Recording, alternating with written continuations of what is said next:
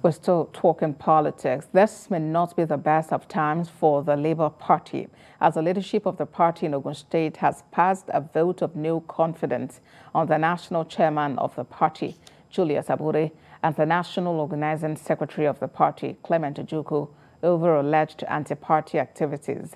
This was made known at a press conference addressed by the state secretary of the party, Feyisola Michael. He also accused the Director General of the Presidential Campaign Council, Doyin Okupe, of using funds meant for campaigns for his personal use. The party in the state called for a halt in the presidential campaigns to state, just as it issued a seven-day ultimatum to the National Working Committee to convene a National Executive Council meeting and the dissolution of the current Presidential Campaign Council to reflect national character if the party is serious about 2023 general election. The Labour Party says no to this executive rascality and malfeasance from the national chairman.